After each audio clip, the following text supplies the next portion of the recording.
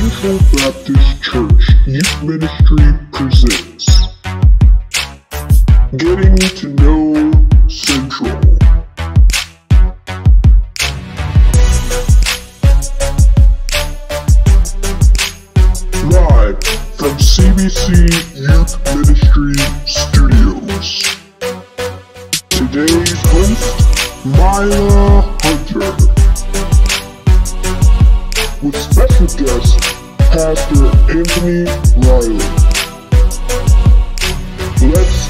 Let's get to know Central.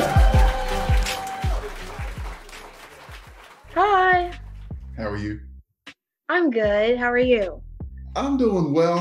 Okay, to start, um, what's your favorite Bible verse? My favorite Bible verse is actually a whole chapter, if you will. I think it's Psalm 23. The Lord is my shepherd, I shall not want. Um, that verse just has so many different meanings depending upon where I am, how I'm feeling. So Psalm 23 is definitely um, in the top three. Yeah, Yeah, that's my grandma. She made us memorize it one summer, and we had to perform it in front of the whole church. It was it's a really nice verse. Um, what made you want to be a pastor? So honestly, I did not want to be. Um, I wanted to be a lawyer so I could make money and be rich, and then I could donate some of my time to the church. Um, Okay. that was my plan. But I tried to go to law school and do law courses in college. Um, I did well on those courses, but it just didn't fit into my schedule a lot of times. I was able to take a lot of legal classes. All the religion classes became available to me. So I knew I wanted to do something with the church, and I was involved. So to say, well, God's opening doors in this area, so let's just walk through them, and here we are. That sounds really interesting. What's the hardest thing about being a pastor? Ooh, just one thing. It could be many things. I mean, it's, it's, not a, it's not a bad quote unquote job. I love what I do. Yeah. I love being the pastor, being your pastor. But um, I think one is seeing people that you love and care about hurt. So one of the blessings and one of the burdens of my role is walking with disciples when they graduate from middle school or high school, but also when they lose a loved one, lose a pet, a pet dies, a family member dies, and to watch someone hurt is not something that anyone wants to do, but it's my privilege to walk with people when they do. Yeah, that's that's really cool. You know, it's it's great to help people out when they're hurting so they can do the same with you. And especially with God, God can do anything. That's right. That's right. You're right. Well, uh, so on Sundays, you know how you teach the sermon. What what do you guys do during the week? and it's such a good question. So um, there is this misconception that I kind of hang out all week and pastor only work for an hour on Sunday, which is unfortunately, I mean, it would sound really nice, but it's not. It's not true. Um, so the week is full of number one preparation. In order to prepare one sermon on Sunday morning, it can take me up to 24 hours. And of course, I like my sleep. So that means at least three days a week, I'm studying, writing, rewriting, researching, prepare for Sunday. That's just Sunday morning, plus Bible study.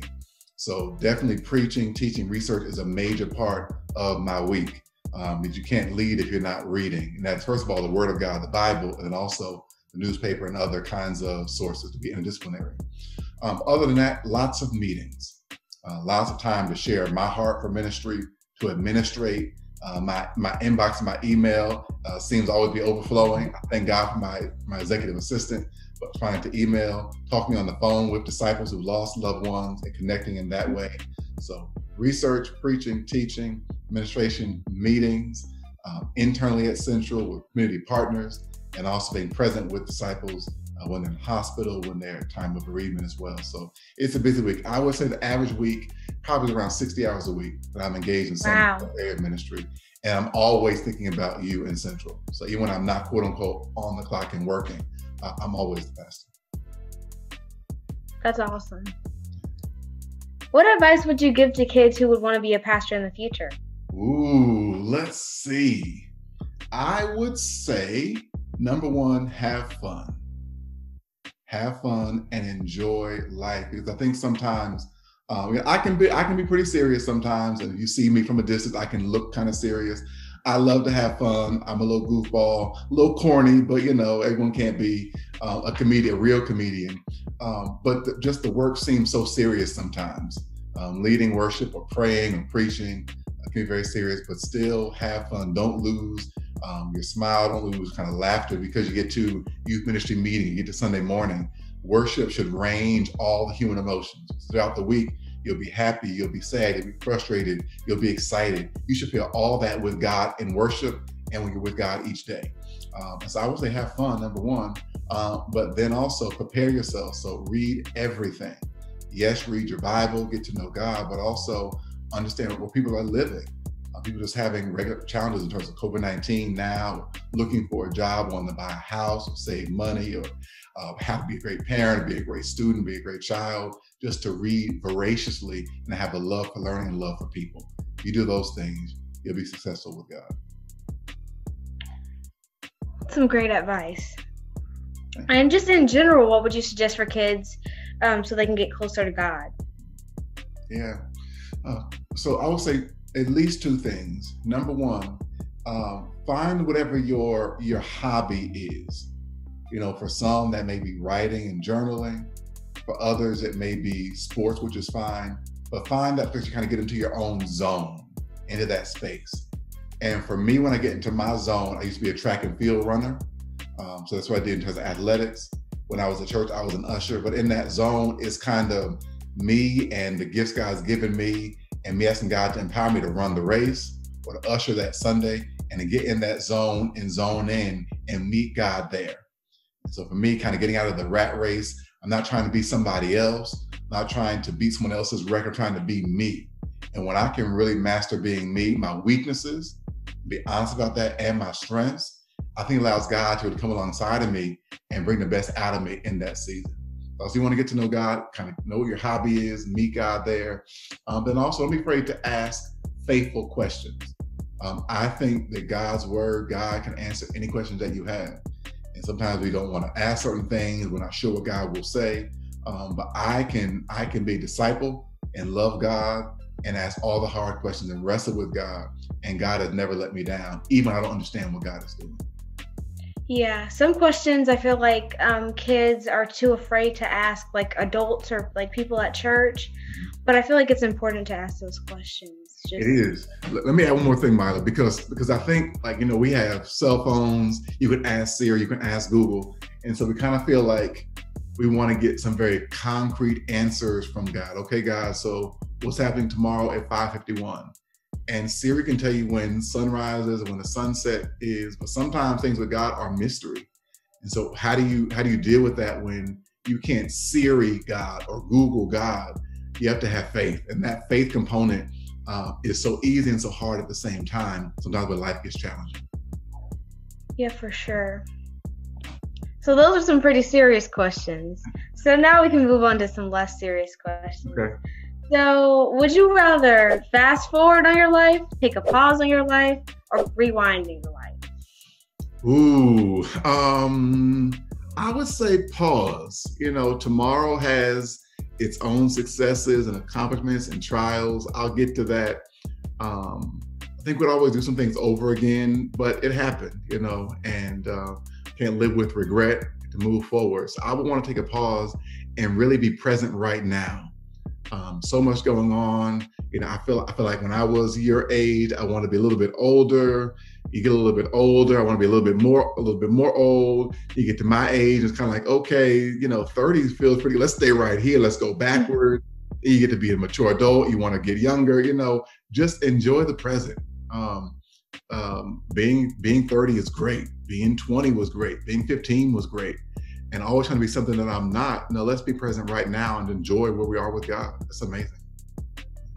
Yeah, I'd say I, I would say I'd be, do the same thing. I mean, I would want to speed up just to see if like COVID would go away and how we would be like just going back to normal. But I also like enjoying things in the moment. Absolutely. So I have to say this. Good answer. Good answer. Would you rather go a week without your cell phone or a vehicle? Ooh, um, my vehicle. I can use my Uber, so vehicle. Week without vehicle. Okay. Yeah, okay. Yeah. Um, who would you say makes the best breakfast, Cracker Barrel or IHOP? Cracker Barrel. Yeah, their syrup is the best. Yeah, and it's warm too. Yeah. Um, did you want to be a pastor when you were a kid? I know I wanted to be a preacher, but I wouldn't say I really said pastor until probably when I was like in college. Um, yeah, probably when I was in college, said I'll be a pastor, but definitely preacher. Yeah. Would you rather have something savory or sweet? Hmm. I do like candy, so I'll probably say sweet, although I like both, but sweet would be my preference. Gotcha. Would you rather have chips or popcorn? Popcorn. Love popcorn. Uh, homemade especially. Yeah. My brother loves popcorn too. He'll make it every day. Would you rather have an iPhone or an Android? iPhone all day. Listen, I'm not going to advertise for Apple, but iPhone, iPad, MacBook Pro, let's get it. Apple all day. They sync well. You can send pictures, you can FaceTime, just all right there. I'm an iPhone person too. I used to have an HP laptop, it was a Dell. And when I moved to the MacBook, I had like all these Apple classes I took on how to use it. It took me a while, but now that I now that I have it, you know, there's no place in the world I'd rather be. It's like learning, it's Yeah. like Jesus, you know? It's great. It's definitely, I think it's much easier. Just like moving one file from something, you can just airdrop it instead of having to email it and all that. yes. Saves time, you- more efficient. And you have to invest in what, what you want to invest in you. So yeah, might as well. Are you a morning person or a night owl? Definitely a morning person.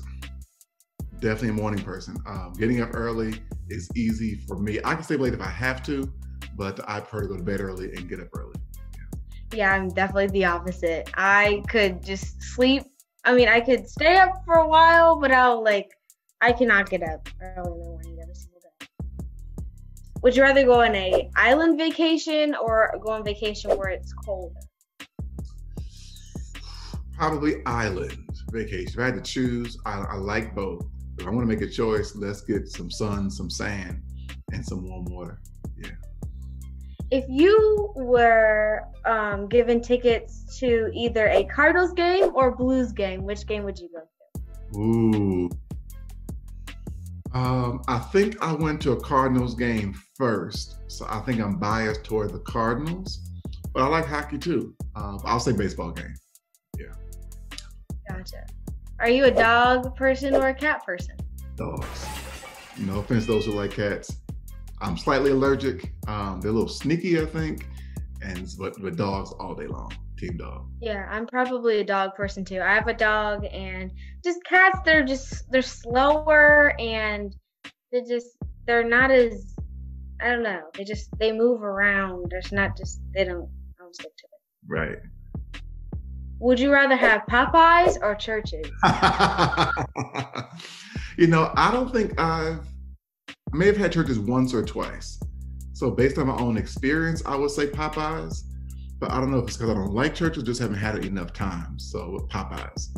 Yeah, I we I we have Popeyes um, near our house and Church's. My mom said she's not a big fan, so we usually go there. Yeah, Popeyes. Who is your favorite gospel artist? That is such a hard question. Um, back in the day, it was Hezekiah Walker. Um, then it became Kirk Franklin. There are so many artists out there today. I've recently, you know, been to learn about, and so I could, I mean, I could talk all day long. Jonathan McReynolds um, is great. I like Tamela Mann. So on that one, I don't know. Um, there's so many. Yeah, I would have to say I would listen to Kirk Franklin a lot and Tam- Tamela Mann. Okay. I think I listen to them a lot. Great. Would you rather have Hawaiian rolls or cornbread? Ooh. What are we having with it? Are we having fried chicken? Is it Thanksgiving? Um, Thanksgiving. Let's say Thanksgiving. So it'd be greens and it could be fried chicken. It could be turkey. It could be any. I think for Thanksgiving, I'd rather have Hawaiian rolls. Yeah, but I like chili, and so gotta have cornbread when, when possible with chili. Uh, or if I'm just having like like cabbage and a meat, I want cornbread with my cabbage. but uh, most often probably those Hawaiian rolls. Now, and add something to that though. So when I have my Caribbean food or Caribbean food, I love festival. I love hush puppy, which is just fried cornbread. So catch depending on what day you catch me, and what the rest of the menu is like. Yeah, I like hush puppies too with fish and whatever, we have big fish fry and all of that. Would you rather have um, Nike or Adidas? Nike. Now I just started getting into Adidas. Uh, my son loves Adidas, so I may be transitioning, uh, but I've been a Nike guy for a while. Yeah. Gotcha. Um, LeBron James or um, Stephen Curry? Yeah. Um. Um. Ooh, these are hard questions. Yeah. different players. I, I guess LeBron. Um, I'd have to say LeBron. You know, right now. Um, uh, before my son to be Steph Curry, he knows the whole team. Um, uh, yeah, yeah, I play LeBron right now. I would have to say the same thing. Okay. Um, would you rather have um, Jordans or Vans? Probably Jordans. Yeah, same for me. stick with Nike. Would you rather have Imo's or Pizza Hut? So no offense, but you know I'm not from here, and so for me, Imo's is an acquired taste, not a bad taste. It's just different. So I'm gonna have to say, uh, you said Pizza Hut. Yes. I'm gonna have to say Pizza Hut. Gotcha. What's your favorite part of St. Louis? Just like Probably, probably Forest Park. So I love I love Forest Park. Um, uh, the the trails, the scooter things, the the water, being by water, being in nature. I love that. So all the parks, I would say, are my favorite parts of St. Louis. Yeah, I like just um downtown. Downtown's really fun. And just the different just walking around, looking at the different shops and all that. So it's all really fun. That's cool. Okay, for my last question. Okay. Would you rather have Burger King or McDonald's? McDonald's. Now, once again, you know, there are things at BK that I love, like the onion rings. They're not real, they're fake, but I like to eat them. But there's something about chicken nuggets, french fries. Back in the day, I get a strawberry shake. That just, just nothing that's like McDonald's. They had a, they had a two for one, two for dollar apple pie back in the day. I'm dating myself now. I don't know how much they cost now. Uh, I used to love McDonald's. Um, I don't go there much anymore, but uh, definitely Mickey D's over Burger King. Yeah, I would have to say the same thing. I love their fries. They have to be hot though. If they're cold, Yeah. and they have to be seasoned too. If they're not seasoned, it's not as good. But I'd have to say McDonald's too. Okay. Good. Good. Well, thanks for answering. Thanks for answering my questions. You are very welcome. You're very welcome.